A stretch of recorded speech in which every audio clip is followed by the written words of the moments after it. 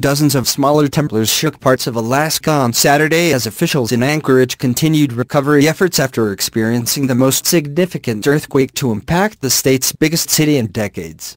No deaths or serious injuries were reported in Friday's magnitude 7.0 earthquake, but the Anchorage area suffered serious damage from the quake that sliced open roads, knocked out power and damaged buildings. Anchorage utility companies are scrambling to restore power to about 30,000 customers. ENSTAR Natural Gas Company said it was dispatching additional workers from its Michigan affiliate to help with recovery and assist the company as it goes about surveying 3,488 miles of pipeline for leaks.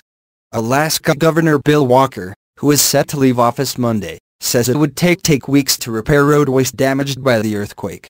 This is much more significant than that, said Walker, who issued a state disaster declaration. Walker said members of the staff governor-elect, Mike Dunleavy, were already involved in the earthquake response. President Trump on Friday also issued an emergency declaration for Alaska, which paves the way for federal agencies to help with relief efforts in the area. Alaska averages an earthquake about every 12 minutes, with more large quakes than the other 49 states combined. The vast majority of the quakes are tiny pops and creaks in the earth, Alaska state seismologist Mike West said. Anchorage has been hit hard before, a 1964 earthquake that registered 9.2, the largest ever in the U.S. and the second largest ever recorded, caused extensive damage to the city and resulted in 129 deaths.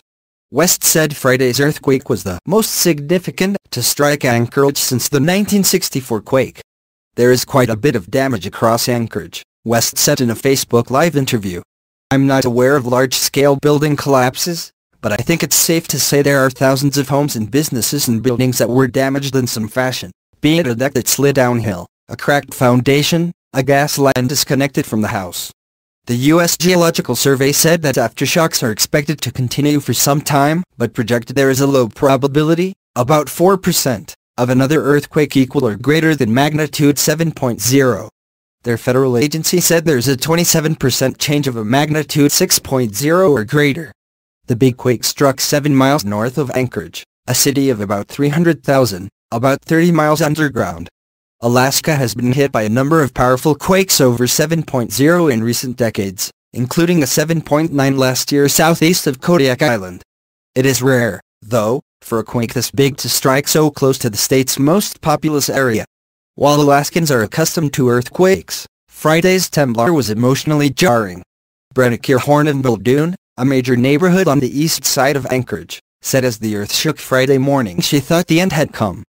Death instantly crossed my mind and I started praying, said Horn, 24. She said she was dropping her son off at daycare when the earthquake occurred. I was having a conversation with my son's babysitter when it hit, mid-conversation. At first, I froze. The house started shaking, all the decorations fell off the wall, and the TV tipped over. Contributing, Associated Press and USA Today's Chris Woodyard and Dalvin Brown.